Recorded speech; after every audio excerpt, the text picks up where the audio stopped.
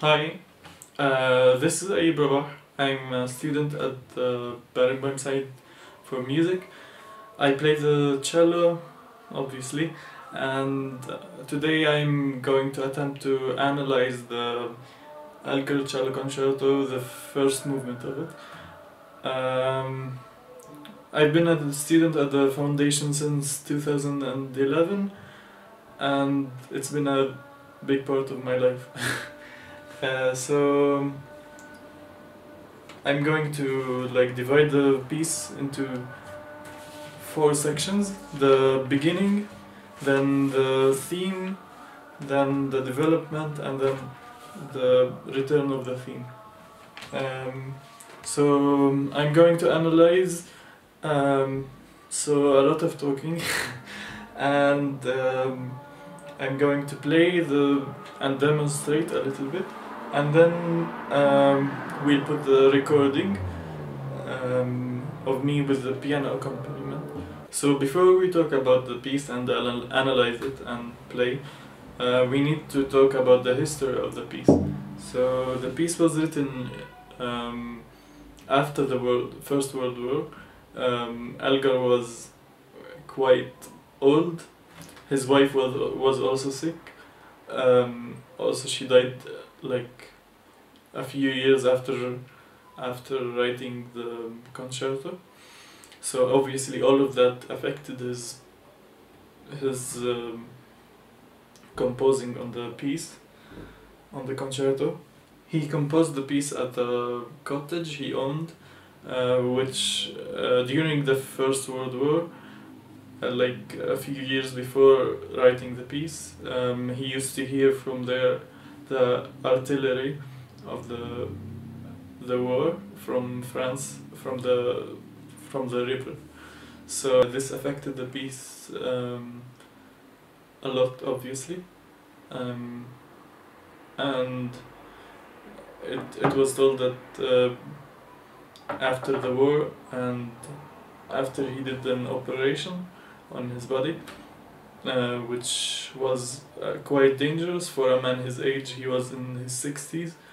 Um, uh, it was told that uh, his music changed. Um, also, after I will talk a little bit about the theme of the first movement and I will talk about its history as well. Now I'm going to play the introduction bit. Um, then let's see what happens after that. Uh, before I play it, I just want you to imagine with me. I want you to imagine if if this, uh, as if the um, the soloist, the the part I'm going to play, is a lone soldier, the last soldier remaining at a battlefield after the war, and he's just looking at the uh, looking at the battlefield um, alone and it's very flat, nothing happening, nothing moving, and he's he's just wondering how will he cope with this.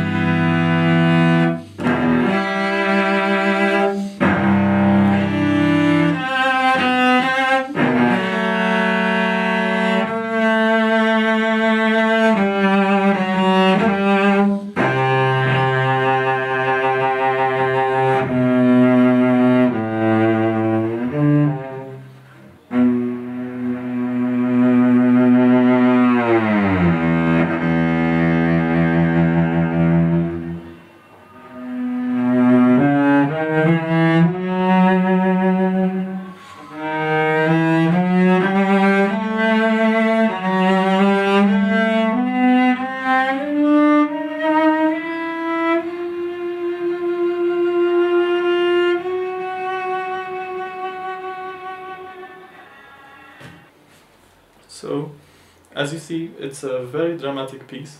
Um, it starts um, unlike any cello concerto I have ever played, and um, it starts with a uh, with with the soloist, and he starts with two chords.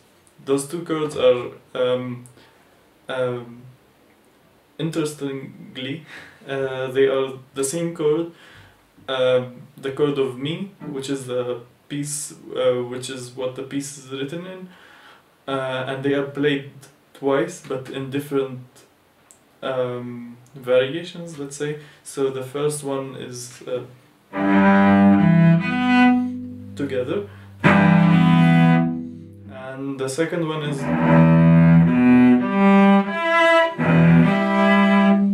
So they are the same chord if you rearrange them in a certain way. Uh, so uh, starting the piece with two chords that are the same is an indication that uh, nothing is moving um, and there's nothing happening. um, then after um, where I play this part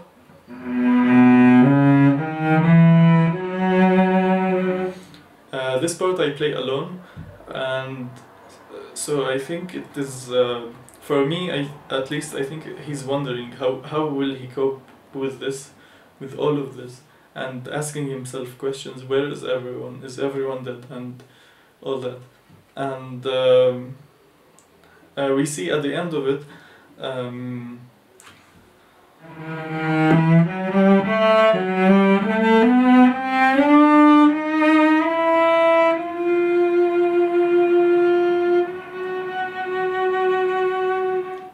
last note I, I just played um, is a dissonance, uh, which is which means that it's not in the scale, uh, the original scale which the piece was written in, um, and and then this note, the which is the supertonic, which is like the second note of the scale, the it, which is the fa.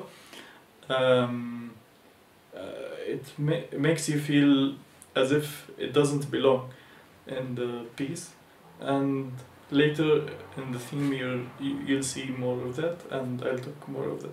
Let's move on to the theme. The theme. Um, before I start playing it, I want to uh, tell a little backstory about the theme. Uh, the theme was written by Elgar after he had the operation. Right after he he had the operation and he was awake, um, he requested a pen and a paper, and he wrote the melody of it, uh, which we see a lot of in this movement.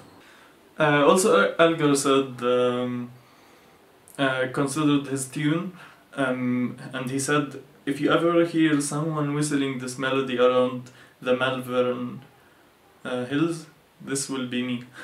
so he obviously really liked this melody, and um, yeah, it was a big part of this concert. Uh, I want you to imagine in the whole piece.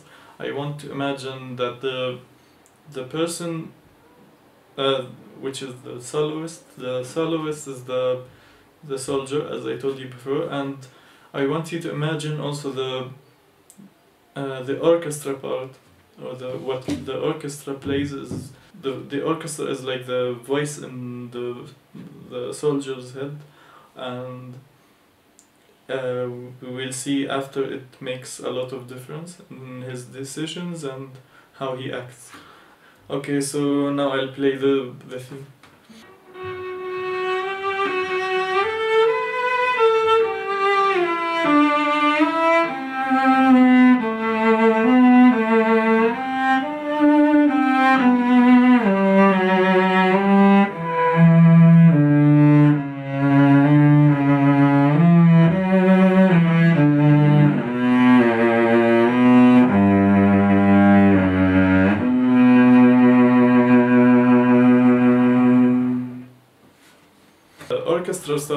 The melody, and the violas play it, um, and then after they finish the melody, um, I take it from them and I play almost the same, and when and uh, that shows that the voice in his head is kind of controlling him, but he doesn't realize that, and he just does wh- what the voice says. But um, I play um, dissonance as, the first note. That means, um, as we said before, it's uh, it's unstable. And uh, the interesting thing about this is that we play dissonances more than we play the notes notes that are stable. So it's more unstable than it is stable. Um, uh, also, I think um, uh, when when I start the the soloist starts to play something this different than the the orchestra, uh, the orchestra starts to get a little bit mad. Like uh, the volume gets higher, and obviously they don't accept what he is doing. Like for example, um, here I play it differently than what the violas did before.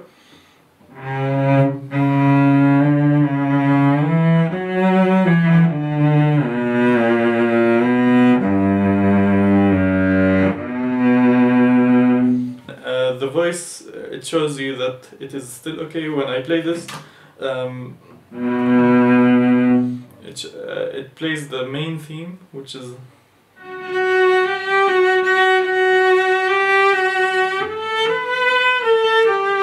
so um, it wants to uh, me to go back to that theme.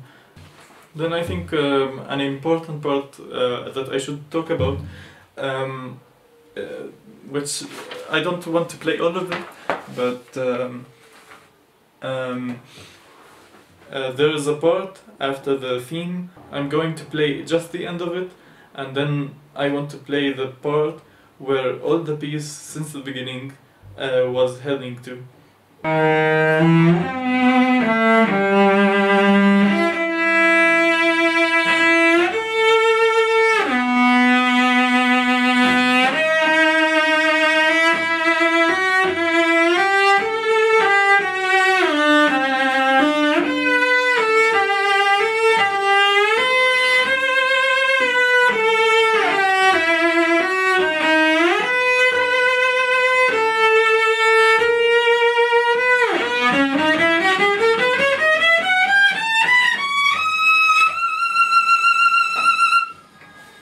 Obviously, this part is um, very emotional, and um, before uh, in the build-up, um, it shows that he has more confidence, and his confidence is uh, rising, and um, where all the piece had has to since the beginning is this part. So um, I think this part is one um, the most confident part so far, and what can lead uh, can uh, show us that is that um, remember before we, uh, I told you um, uh, the beginning of the theme was the dissonant. The long notes were uh, were the not right notes, the unstable notes, and now it's quite the opposite. Now it's it starts with the mi, which is the the root, which is um, the most stable note in the whole scale. So this shows that he has a lot of confidence now. Before all of this, I feel that um, the build-up uh, was him trying to try something new, and so uh, in this confident part, he thought it worked, and he plays all the scale, and he's very excited, and um, he thought it works, but also he's still like uh, it's very emotional still, so uh, it's not happy, um, but it is um, a way he he tried to to deal with the with the situation. Uh, after he returns to uh, uh, what I fi- find really interesting um, is after he he returns to the same theme as the beginning, the the one with the dissonance. So uh, it's very confusing that after all of this um, uh, confident part, he goes back to the unstable and unsure part thing, and then interestingly, um, it changes. So uh, I play the theme again. Um,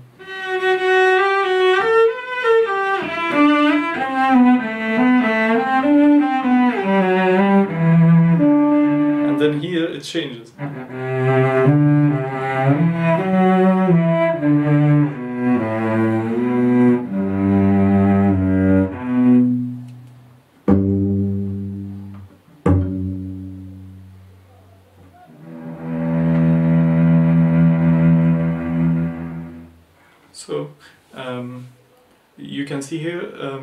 There's a change of um, thinking, a way of thinking. So now he he just gives up and it simply stops like and then it dies.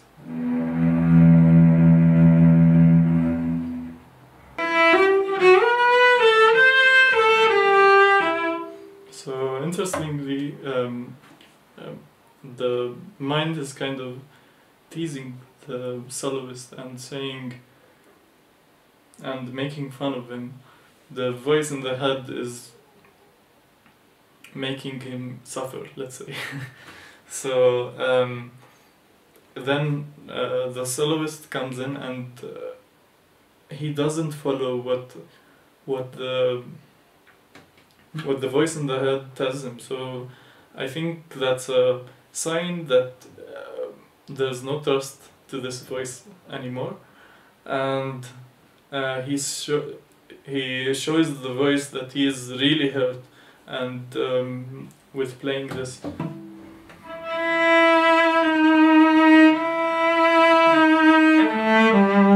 And then the orchestra makes a very similar rhythmic uh, um, thing as they played before, um, and it's still sarcastic and it's still making fun of him, and then um, he's back and he's in pain even more, um, and then interestingly he plays the same uh, rhythm as the orc as the orchestra, which is the voice in the, his head, but he plays it very silently in pianissimo, and uh, it's very high in the cello, so um, that shows that he's really insecure about about it and he still doesn't trust the voice but he can't make it kill him or uh, make fun of him uh, all the time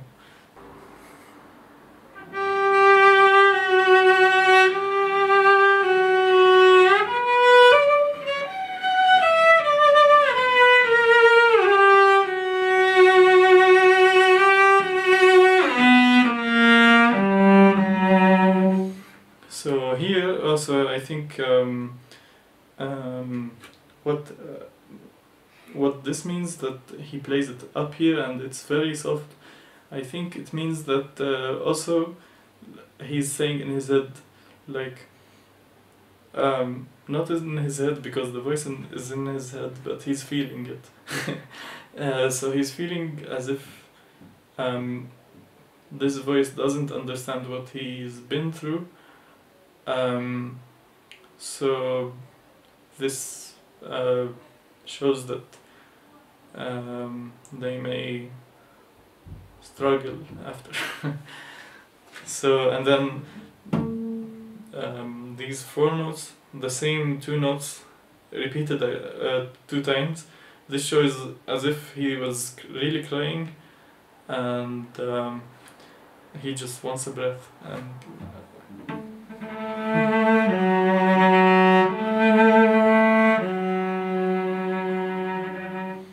And then, interestingly, he, he for the first time in the peaks, he starts um, rhythm, um, and he he starts with this positive part, and it's um, like one of them, um, and still he has this unstableness uh, in the rhythm. Uh, now it's not the notes, it's, it's the rhythm. The rhythm is not really stable, so you can see that now.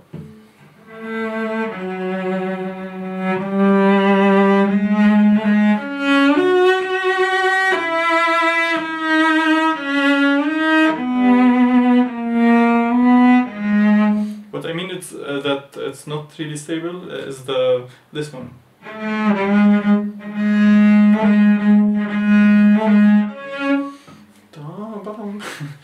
So, um, it shows that he wants to try something new. He doesn't want to keep in the same mindset, but uh, he still has this doubt and um, lack of confidence. Um, and then uh, he stops to hear what the orchestra has to say. Uh, and then he plays.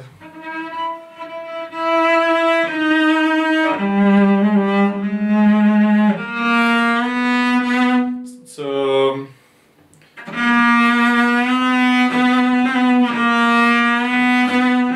So he builds the confidence in himself again.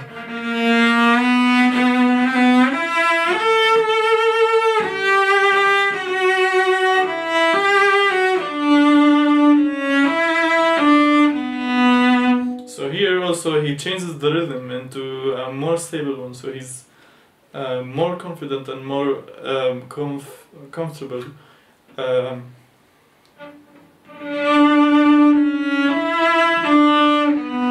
so uh, this is more comfortable than the.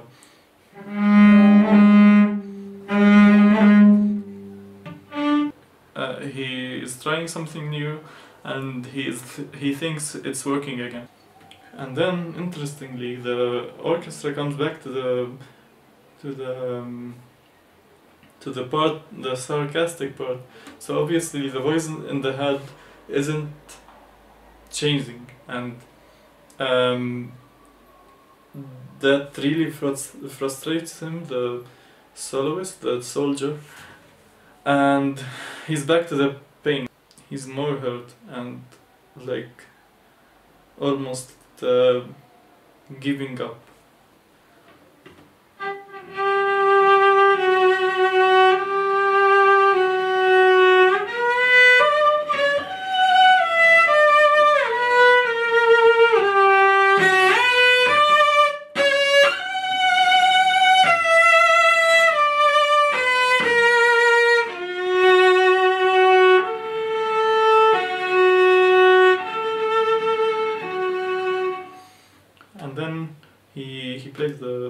Surprising part, the one that the one I just played uh, before, and then he just yeah, I think it's a moment of um, um, war cry. He's shouting and um, really frustrated, and he doesn't know what to do.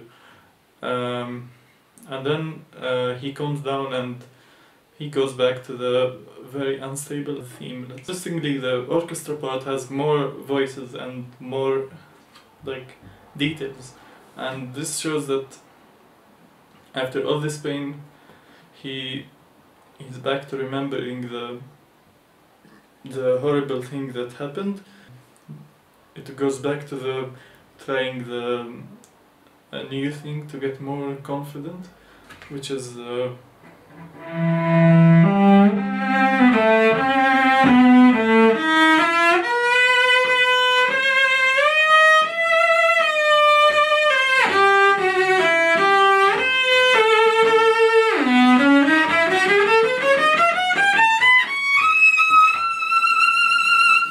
yeah, and uh, obviously this time there there's more detail and more um, more things in it.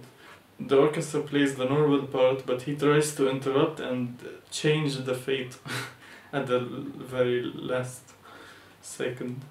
So he interrupts the the orchestra, which plays the normal part after the scale for the first time, with the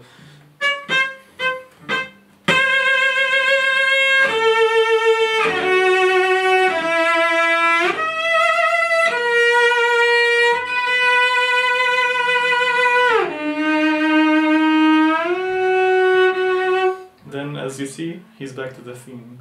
So obviously that didn't work and yes he is back to the the sadness. So obviously this didn't work. And now uh, at the very end of the first movement um, he plays the one where he gives up and dies again um, which is which, go, which goes like this.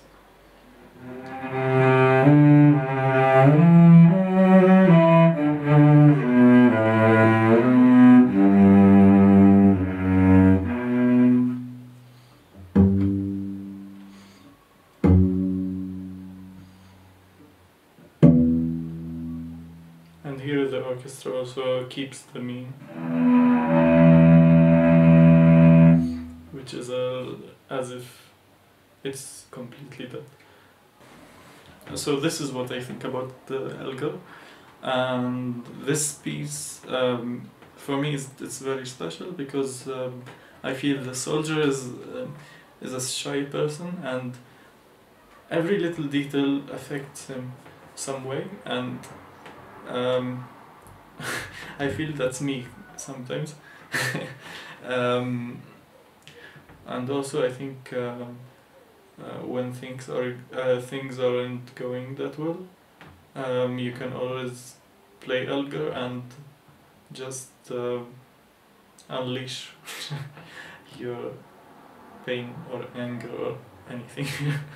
so yeah, it was very important for me to play this and um, it's one of my favorite pieces and um, I, ve- I very much enjoy playing it every time and of course um, this is just my opinion um, anyone else can have different ones. And I may be wrong still. Um, yeah. Thank you.